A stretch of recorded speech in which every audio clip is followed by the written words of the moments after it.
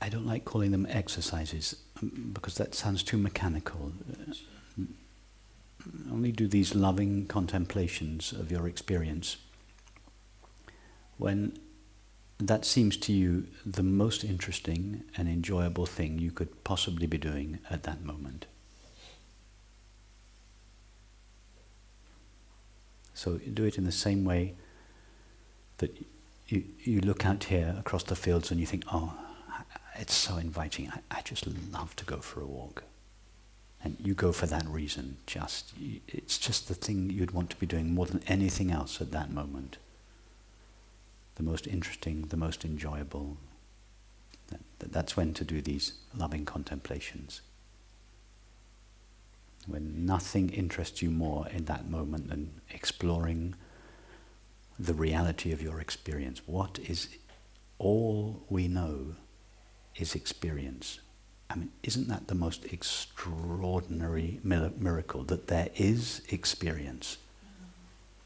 I mean, walking on water just pales into insignificance next to the fact that there is experience. Wow. I mean, isn't that incredible? And that experience is made of something, yeah? It, that, it's made of something. What is it made of? That it can take the shape of all this. It can take the shape of this incredible diversity, and yet it's all the same stuff called knowing or experiencing. What could that stuff be? what could be more interesting, interesting than, than knowing what that stuff is? Our culture tells us that it's made out of dead stuff called matter, and that matter gives rise to mind, and mind gives rise to consciousness. Does experience, is the stuff out of which experience is made, dead and inert, that doesn't quite make sense. Because if that was true, then experience would be essentially dead and inert. But it's not. All experience is pervaded by the knowing of it. It is aware and alive. Everything. We never come in contact with anything other than this totally alive stuff called experience, and it never goes away. It doesn't start or stop. It stays the same, it's never changing but ever changing. What is this stuff? So when you feel that kind of interest, in experience, then follow it. If you find something more interesting to do than that, then do it. like going to the cinema, or, or, it's fine. Do whatever is the most interesting thing for you at that moment, the most enjoyable, interesting thing. I mean, spiritual life should be just, it should be like going to the best party you can imagine. It should be the most enjoyable, the most interesting thing to do. And the beauty of it is that the, it, you don't have to put aside a particular time or a particular place to do it. You can do it while you're having lunch, while you're walking down the street, while you're brushing your teeth, while you're sitting on your chair doing nothing. You, you can explore this all the time.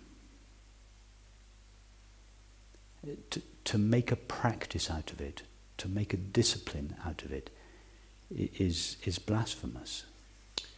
Well, you know, it, it, it's it's so disrespectful to think that we could in, turn this investigation, this exploration of our experience, into a practice or a discipline. It's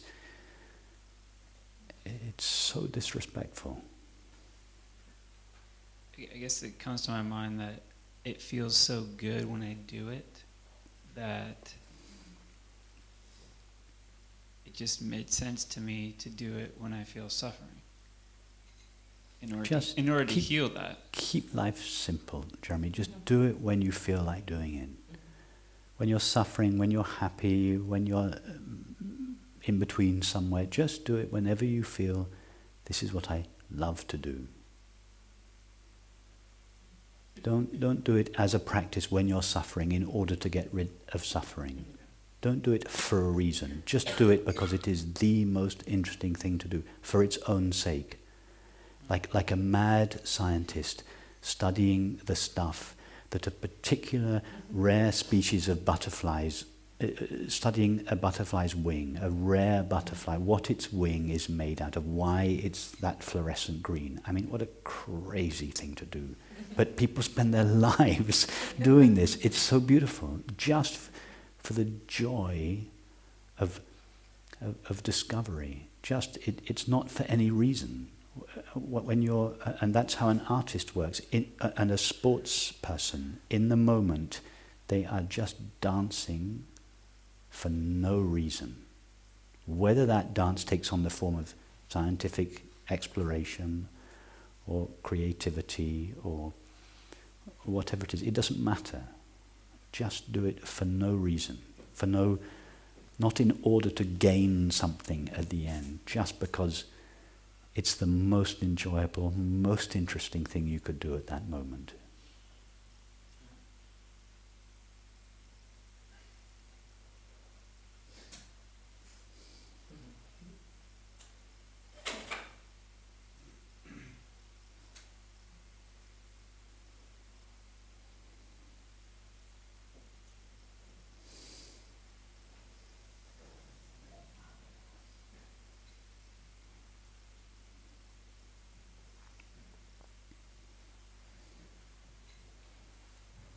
Have, have you have you finished? Is them? Uh, I mean, them it's just a little disappointing because. no, I mean, because honestly, I mean, I'm, I, yeah, I do feel suffering a lot less, but that happened to be the most prevalent, you know, part of my daily life, and so I did want to get rid of it, and okay, and I wanted to use everything I could to do it. So. But but and that does seem to be the promise of where this is all heading. Okay, but just, just very slightly change the parameters. In, instead of doing this in order to get rid of suffering, do it to understand suffering. Yeah, yeah, yeah? definitely. That, that, so it's just, you're still studying the same thing. You're still exploring the same thing. Changing the mindset that way. But you're just doing it, you, there's, there's this phenomena is appearing called suffering. This, this strange species of butterfly has appeared, and you're fascinated by it. Oh, you know, how do you eat? How do you reproduce? How do you go around your life? You want to study all of its habits, and, and but you have to be very, very careful with the butterfly. It's very delicate. You don't want to touch it. You touch it, and you're going to destroy it because it's so. So you, you just observe it. Don't touch it. Don't get busy trying to change the butterfly. You just, you're, you're, studying it under all sorts of different, you study it in the daytime, in the night, when its mates are around, when they're not, what it eats, what it goes towards. You, you're just interested in this phenomenon. Mm. See suffering just like a phenomenon. After all, it is a phenomenon. Just, just explore it, be interested in it. Don't go to war with it because you, you don't.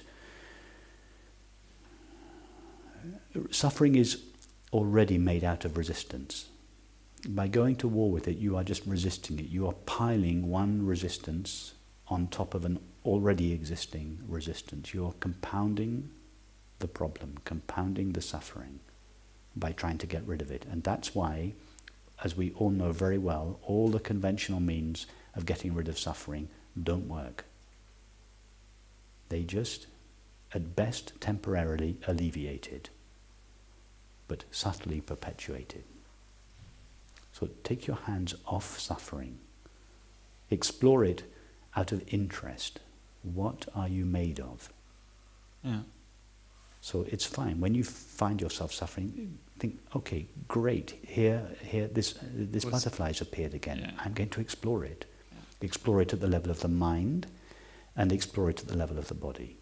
Both. Really think and feel, I want to understand this phenomenon that takes place or that appears so often in my life. It seems like it's related to these perceptual investigations in yes. the sense that yes, it is. You're like, wow, it, when the suffering is occurring, it tends to be that there's this kind of contracted yes, aspect, and when we're doing that breathing exercise, yes. You realize, wow, it's yes, exactly. you're infinite. That, that's what these these contemplations, like the contemplation we did this morning, is yeah. is just studying one of the butterfly's legs, just one part of it. and, you know, yesterday we studied another leg or another wing. It's just all studying this whole phenomenon of, so, of uh, in this case, the sense of separation. So it puts it in perspective, but I can see why if you approach that exercise with the desire to get rid of something, then it would be counterproductive. yes. suffering, the only thing suffering cannot stand is being seen clearly. The reason for that is that at the root of suffering is an illusion. You can't do anything to, to an illusion because there's nothing there. You can't do anything to the water in a mirage. You can't go and collect it. You can't purify it. You can't drink it. You can't, you can't do anything to it because it's not there. The very best you can do is to go up to it and see that it's not there. That seeing relieves the desire to, to, to manage it or collect it or to. So it's like that with suffering. At the heart of suffering, there is an illusion, a non existent self. You can't do anything to a non existent self. There is nothing there to do anything to. Seeing, which means experiential understanding, clear seeing, is the best you can do. And as a result, as, as a byproduct of that clear seeing, this suffering vanishes, dissolves in time. Because it, in order to remain present, suffering needs the illusion of a separate self. It revolves around the illusion of a separate self. If that is truly seen to be non existent, the suffering simply cannot stand. There may be old habits in the body mind that run for some time. But those, because they are no longer supported by the belief and feeling of a separate self, these old habits gradually dissipate. So suffering vanishes as a byproduct of this exploration, not as its goal. Suffering vanishes in the same way that a headache vanishes. You wake up in the morning with a headache. You get to the evening and you realize, oh, my headache's gone. I don't know when it went. I don't know where I was when it went. I don't know why it went. I don't know how it went. It's just, you just notice, oh, it's just not there anymore. That's how suffering disappears. It's a byproduct, not a goal. its disappearance is a byproduct, not a goal. If you make it your goal, you perpetuate suffering. In fact, this is one of the ways the separate self perpetuates itself, sometimes for decades, by trying to get rid of itself. This feels like it leaves me in the position of we, we, we learn all these things, and it seems like it would be a nice idea to repeat them, to explore them better. But truly, it's like the suffering that pr- reminds me that I want to practice them. But if it's counterproductive to apply them. No, consider the suffering is to the mind what pain is to the body. Yeah? You put your hand in the fire, you experience pain. The pain is not a mistake, it's not something that's wrong. The pain is there, it's the intelligence of the body telling you take your hand out of the fire. Yeah? So pain is working on behalf of your well being. Suffering is exactly the same at the level of the mind. It is cooperating with your desire for happiness. It's telling you you've got your hand in the fire. In this case, it's telling you you have mistaken yourself for a separate, limited awareness. Take a look. Take a look. Take a look. That's what suffering. So, so suffering is to the mind what pain is to the body. It's just a wake-up call. It's saying you've mistaken yourself for an object, for a limited self. Have another look.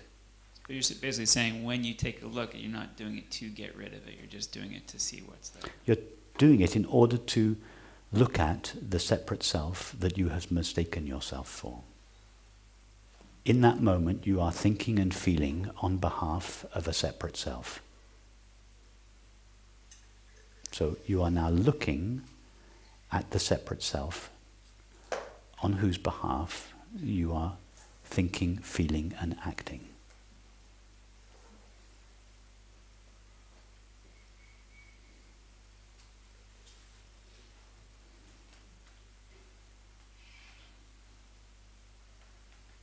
It's like you spend your life preparing jars to collect the water in a mirage.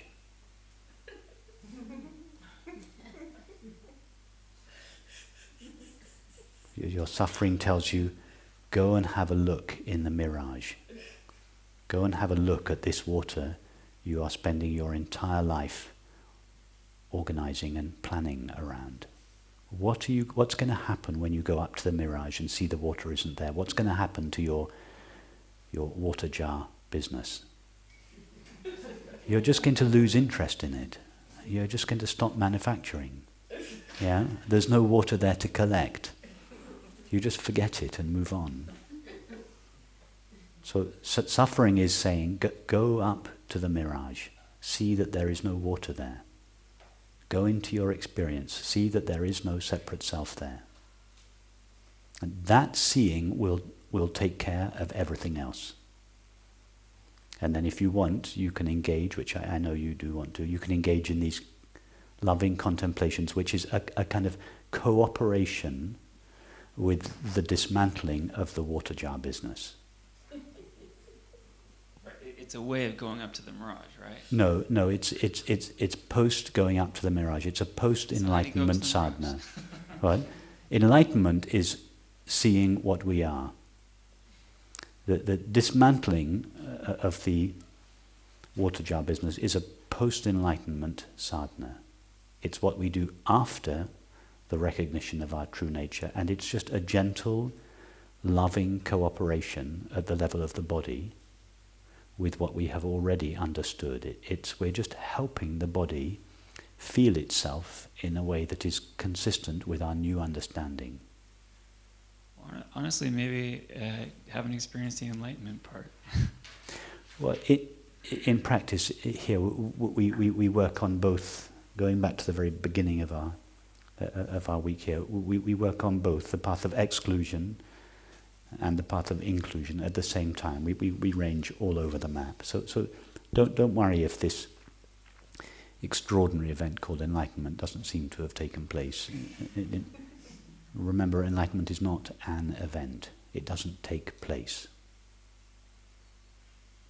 The mind is not party to it. It's not present when this non-event occurs. It knows nothing of it. So don't worry about that. Just keep exploring what you truly are. Am I a separate, limited awareness? Or is the awareness that I know myself to be totally open, unlimited, and ever present? Because the belief and the feeling that what I am comes and goes and is limited and therefore lacking that is at the heart. That belief and feeling, that single belief and feeling, is at the heart of all your suffering. That's the only thing in suffering that needs to be explored, not the whole paraphernalia of whatever it is that seems to be causing the suffering, because if you explore each of the causes in turn, it's just endless money, work, relationships. I mean, eh, eh, it goes on forever. But it's all all these different colours different facets of suffering, they, it all hinges on one thing the belief that what I am, the, the I that is knowing my thoughts and hearing these words right now, the awareness that I know myself to be, shares the limits and the destiny of the body mind. That's it. That is, with that belief, we seem to shrink into a separate self, and all our suffering is dependent upon that belief and feeling alone. So once that's clear, you become very, you become naturally one pointed. You see that all your suffering is just based on one thing. So all your disparate energies are now gathered together in that one direction. What am I truly? You even forget about suffering you, because you're, you're, you're, you're dealing with what's at the heart of it. You, you forget about the paraphernalia of suffering.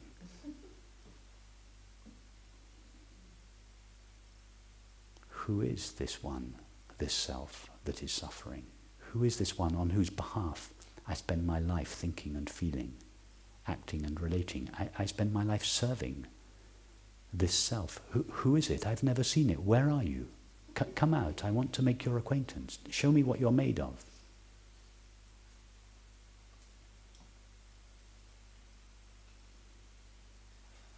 The analogy I, I give you may have heard it before sometimes is of, of, a, of a servant who's been living in this big old house serving an old man all his life.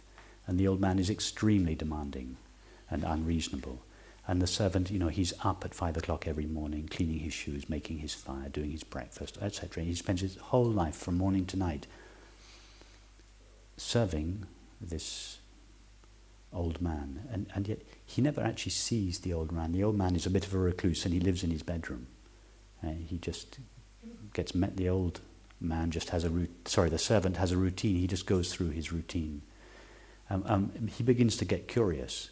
He, he goes to the pub every now and then on a rare day off, and his friends tell him, you know, you should, you should go and, you know, you should go and talk to the old man. You should go and see him if he's so unreasonable. So eventually, you go back and you pluck up courage. You go and knock on the door. You want to, to discuss your your work with him, and he doesn't answer. You think, oh, that's typical. He, he just doesn't want to talk to me. But then the next day, you pluck up courage again and you, you knock on the door. He doesn't answer. You, oh, I'm going to, I'm going to open the door. So you open the door and you, you just peek in. And you think, oh, that's funny, I can't see him. And then the next day you have a bit more courage. You open the door a bit more and you put your head around the door and you know, he's not there. So then you get a bit bolder. You go in and, and you look around and you think, oh, it's funny, he's just not here. You look in his bathroom. You think he must be there. He's not there. You look in his cupboards. He's not there. You look in the drawer. You, you explore the whole room. And, and you realize this man that I've been serving all my life, this tyrannical man on whose behalf I have been laboring, he's not there. He was never there.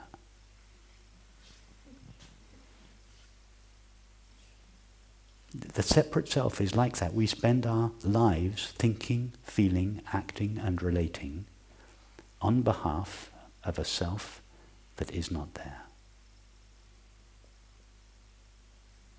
So that's what we do here. We explore the bedroom. First the bedroom, then the bathroom, then the cupboards, then the drawers. We look everywhere. And the more we look, the, the, the greater our confidence grows in knowing that He's not there. Now, it doesn't necessarily happen at one moment. Okay, now I've discovered that it's not there. There is just a growing confidence day by day. It may come in one moment, but it usually doesn't. It's just this confidence, this conviction grows in you. He's not there. And in proportion to that conviction, your thoughts, feelings, activities, and relationships begin to, to change accordingly in direct proportion to your conviction that the old man is not there. You may never be able to say, at that moment I discovered he wasn't there. It's not necessary. Most people can't say that.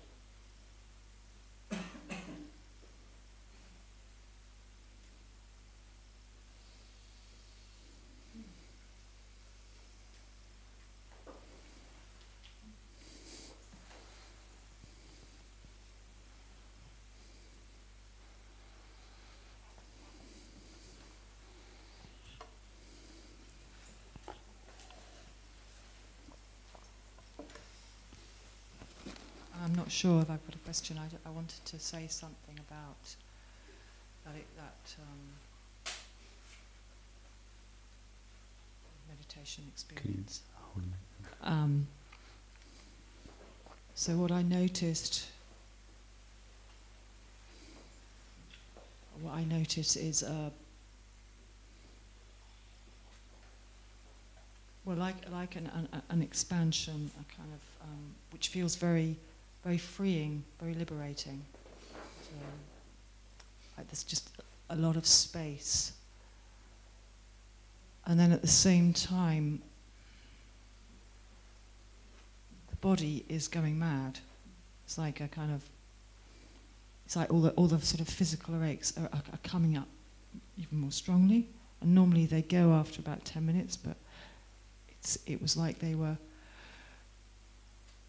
like in full, you know, technicolor kind of Yes.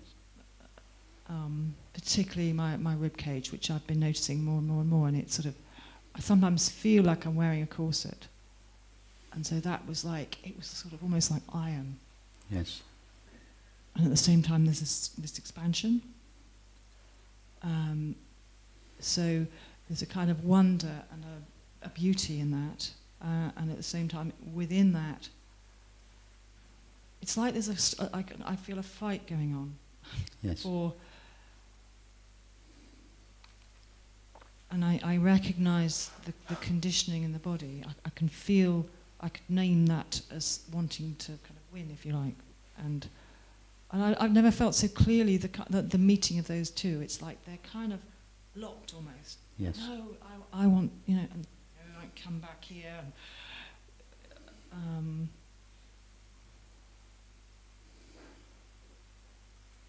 and, and also, I'm feeling, um, yeah, tears, sort of sadness for this apparent illusion. Um, and at home, I, I, I feel a, a kind of frustration. It's like, it's almost, it's sort of the analogy of like being in this tightly held prison. Um, something crying, you know, let me out. Um, and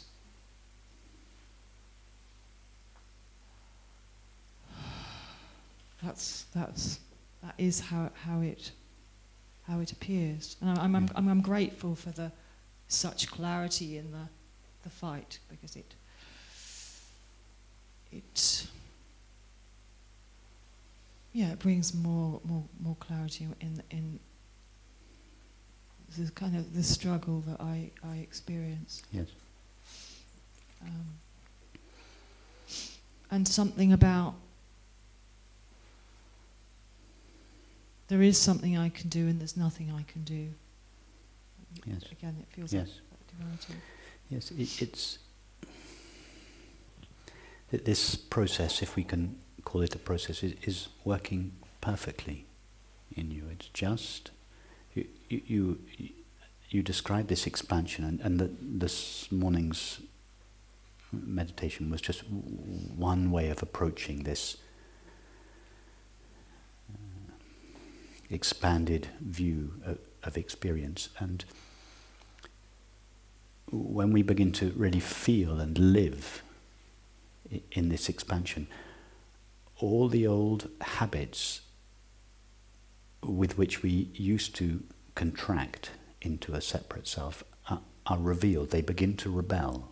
Most of the time, normally we're not, no, we don't notice them because it's just our normal state.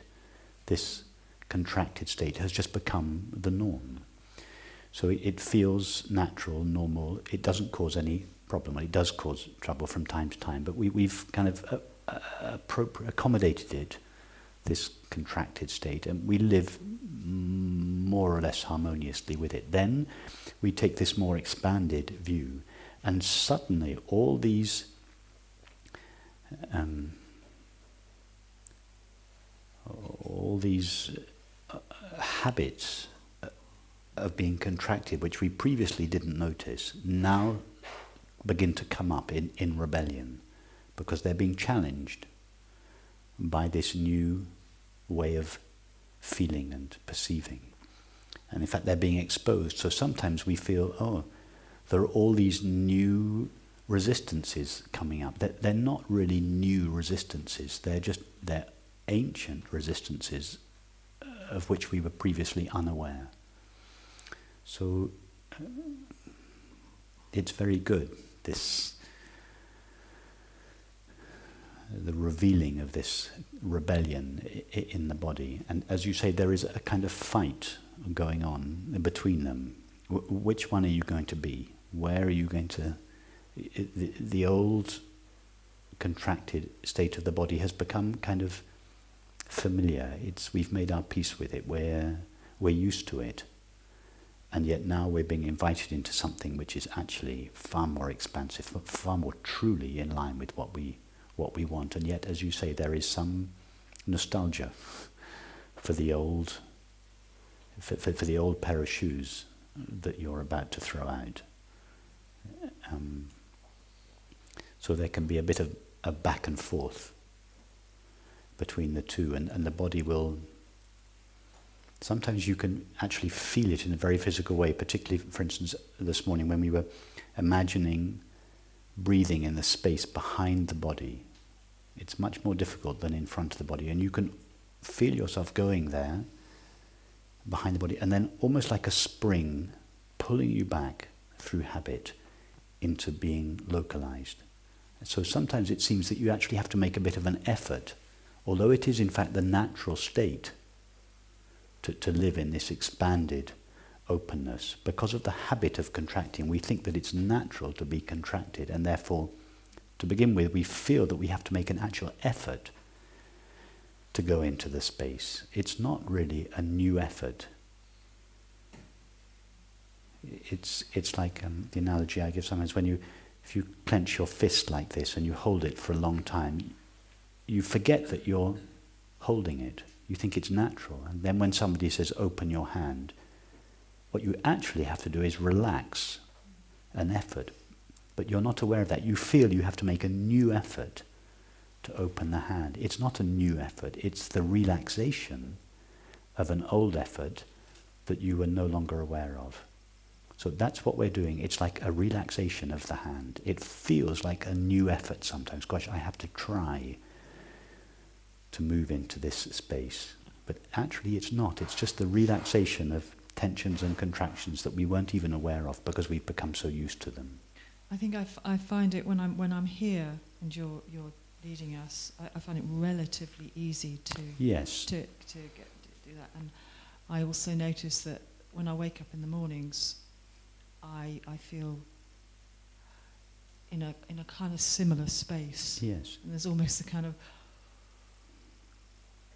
that moment I get out of bed, something something shifts. Yes. Um, and then I was walking yesterday evening, and and, and that's when I, I notice I'm. It's very familiar. It's like I'm not really walking. I'm kind of going somewhere.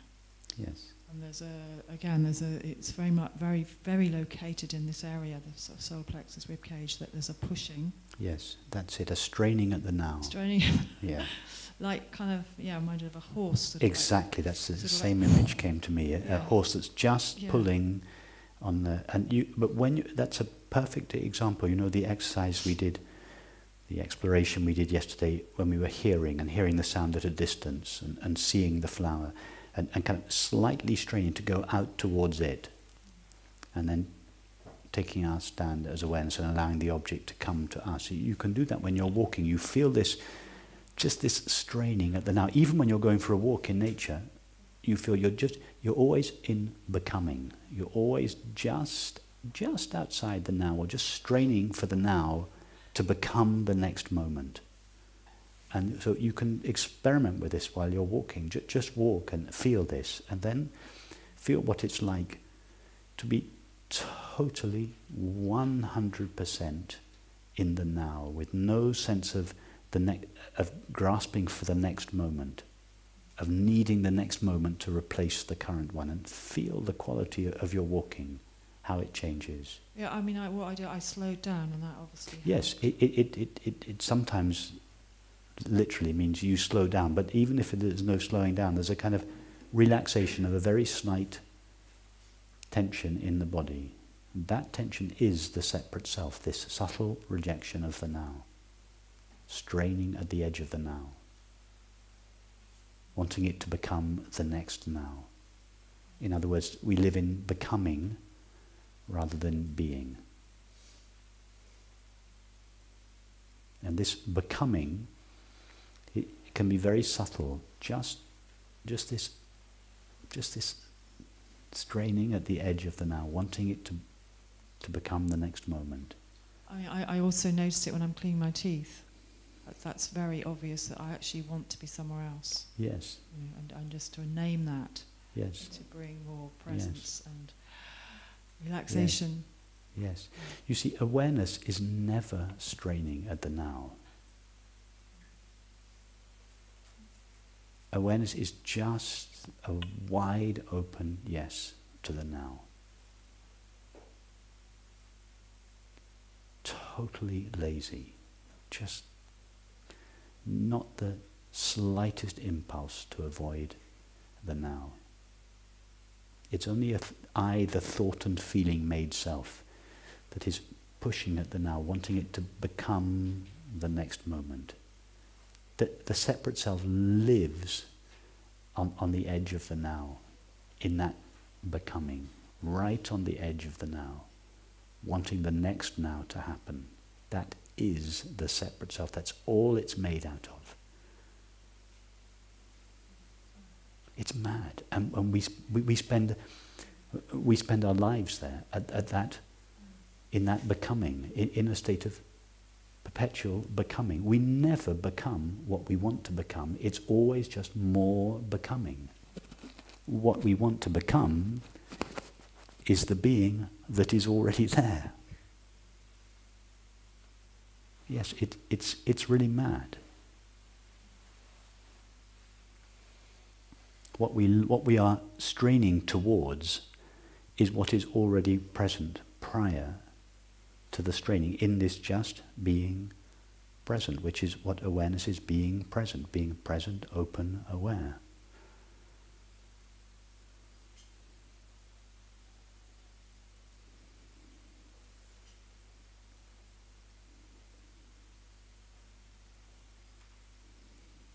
Thank you.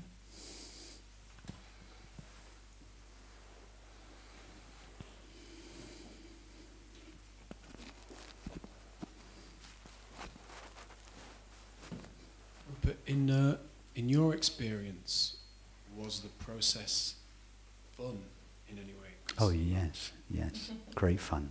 The reason I ask is when you were describing to Jeremy the um, process of looking in the bedroom, looking in the drawers, it makes me think it's uh, potentially it's a bit of a game, and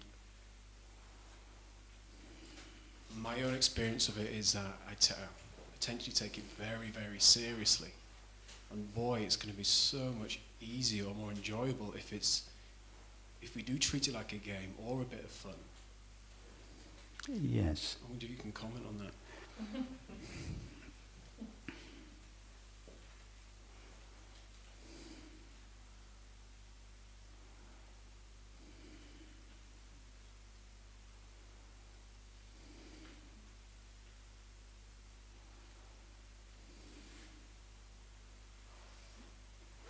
When when I say it was it was fun, I, I was a very kind of serious, earnest, disciplined young man. So it was it was um, a little bit like Jeremy. Um,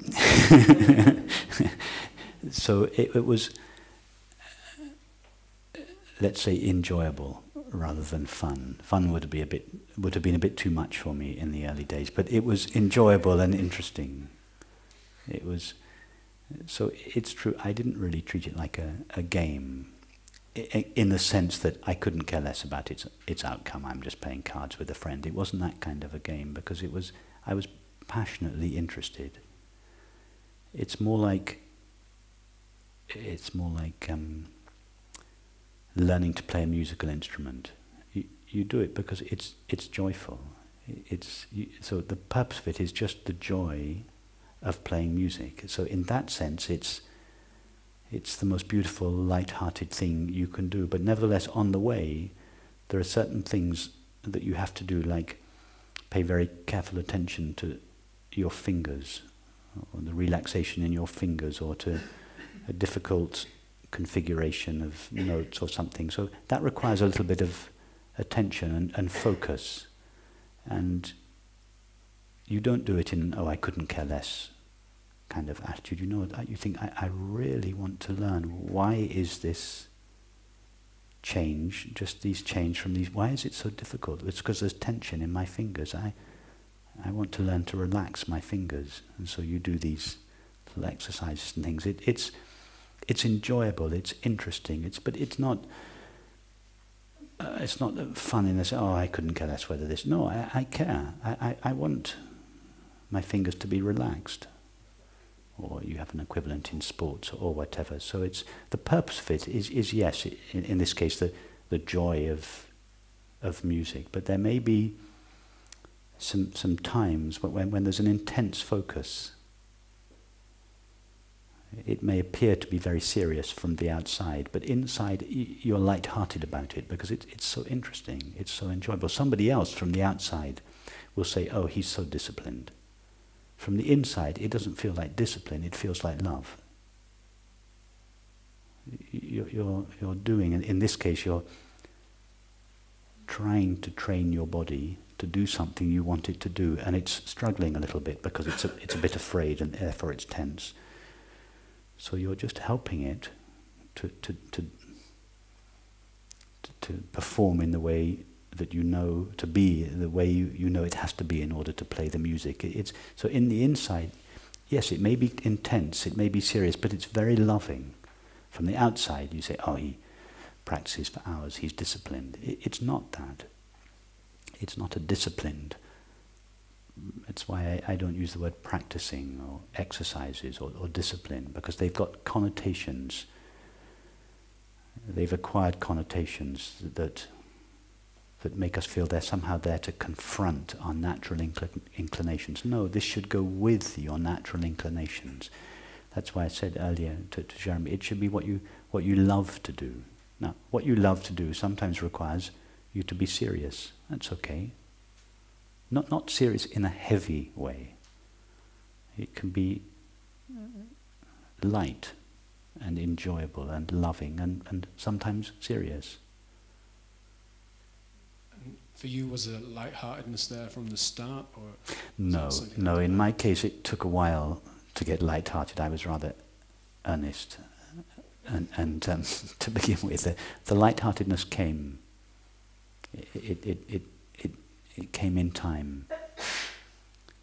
Um, but I, I misunderstood the spiritual process early on and made it unnecessarily heavy. It's not necessary. Um, it really wasn't until I met my teacher that I, uh, that I realized that, that it was an enjoyable process. And in particular, when you see, what was really fun for me was my artwork because I, I, I loved beauty. I, I loved truth as well, but they were in two different camps. There was truth over here. That was what I did in my the Advaita school and on my cushion and reading Ramana Maharshi in my bedroom. And then there was my love of beauty, and they were. Uh, I felt a little apologetic about my love of beauty because it involved the senses, you know, what, what I see and what I hear and what I touch. And, and in the classical Advaita tradition, the world is, is considered to be a little bit dangerous and you, you, wanna, you don't want to go there. so I, I, felt a little apologetic of my love of form and, and, and beauty. And it wasn't until I met my teacher that I realized that these two loves, the love of truth and the love of beauty, are the same thing. And that, that released a, a huge amount of misunderstanding for me. It was like taking the, taking the lid off for me. And, and from, from that moment on, when, when these two worlds came together, my whole approach to spirituality became much more uh,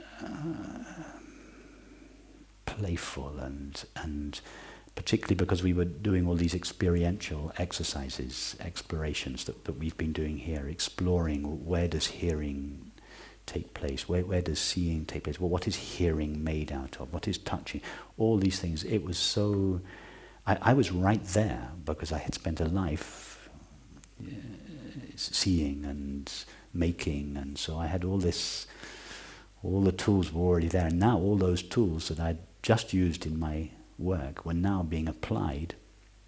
I had been doing these higher sensing exercises, what, what he used to call higher sensing, these um, uh, exploring the tactile sense, exploring sounds, exploring sights. I had been doing it without knowing it when I used to go to museums and look at pieces and in my studio. I had been doing it, but now I was being given a context and it was being elaborated, so it was, uh, I was so enthusiastic about it.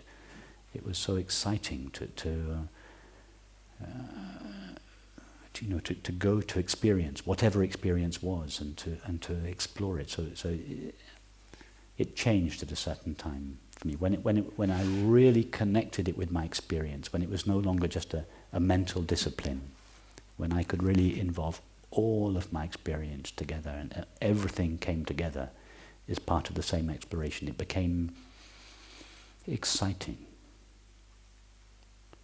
You used the word playful, which seems really poignant, maybe better than game or fun. Yes, playful. I, I, I remember very early on in, in um, California with Francis, he, he was doing a, uh, it was probably the second or third retreat I, I had been on, he was doing a medit doing, making up these kind of contemplations like, like we did today, something like that. So I would immediately go off and start making up my own. I, I just immediately started creating my own kinds of experiments. And, and then I would come in the meeting in the evening and, and, and say, I, I've just been making up I want to make sure that I'm on, on the right track. And so, so then I would explain the, the contemplations that I was making up for myself. And I wanted to check out uh, that, that it was, uh, I was in the right track. And, and he just said, oh yeah, absolutely, that, that, that, that's it. That's the way to go. Just be creative. Make up your own, own experiments. And, and then the next morning in meditation, he actually said, he said, okay, this morning we'll do the Rupert meditation. And then he used the meditation that I had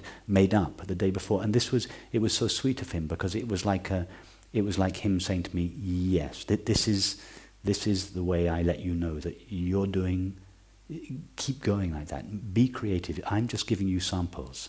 You don't have to, you don't have to think, okay, what, what did we do in that exploration yesterday? I've got to go through exactly. I'm just giving you a taste, to give you lots of different ideas of the way to explore experience. But everyone's experience is slightly different. So you might have a, a tendency towards, uh, you, can, you can go there, you make up your own. So it, yes, it was playful, it was creative, enjoyable. In that sense, it was, it was fun, it was interesting, it was what I wanted to do with my time. And then I would go on retreats, and over the years, like is happening here, the same people would be showing up on retreats. Sometimes new people, and sometimes people that came. So there was this nice sense of uh, kind of family, in in the best sense of the word, a kind of community without any expectations, without any rules, without any demands, without expectations. We, there was this loose community of friends that would just meet from time to time, and this feeling of friendship, this beautiful quality of friendship that that uh, takes place in gatherings like this because we're no one's here to prove anything or defend anything. So we all meet very innocently and openly. And, and I noticed this lovely quality of friendship. So I used to be a recluse in, in I spent 25 years as a recluse in my studio you know never going out. And suddenly I found I had all these beautiful friends all over the world. And, and that was, it was so nice to go on, on retreats and, and to be together with friends and then to come home and to keep exploring all this. And so, yes, it, it was enjoyable, creative, playful, fun, enthusiastic, interesting. I mean, the old ideas that spiritual life is, it kind of uh, thwarts your natural inclinations and, and your, it takes everything you really want to do away from you and, and uh, sits you down on a mat and you, where you have to rap out a mantra and discipline your mind and discipline your body and you you know I hear of retreats where nobody not only they not, they don't talk to each other you're not even allowed to look at each other in the eye. I mean for God's sake how are you going to discover that you're one with someone if you're not able to look at them in the eye? I mean what could be more separating and isolating than that? Now I, am not I, I don't uh, to put that con commenting in context.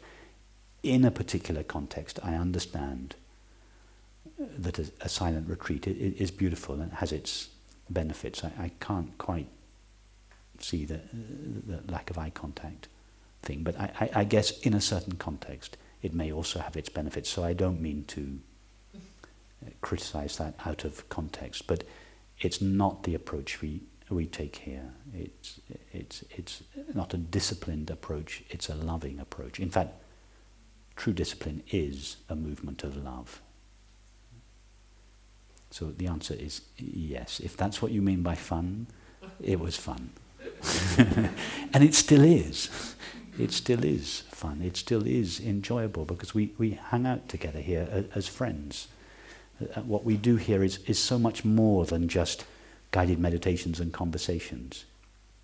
Uh, what we do, it spills out into our, into our meals. I mean, there's nothing more delightful. And, you know, waking up this morning and everyone's having breakfast on, on the grass talking, and, and because of this quality of friendship, I mean, most of us didn't know each other two days ago, three days ago. And already there's a quality of friendship that sometimes takes years to develop. And that is, that, that is a, the flowering of this understanding. It's one area in which it flowers in the quality of our friendships.